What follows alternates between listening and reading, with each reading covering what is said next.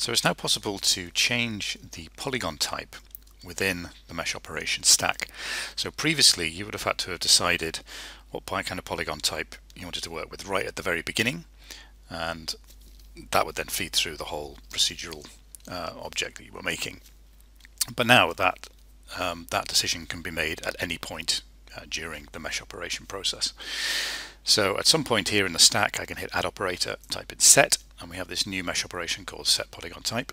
Just load it in, the default's to face but we can also change that to subdivision and also Catmull Clark. So it makes dealing with different polygon types much more flexible now when doing procedural modeling.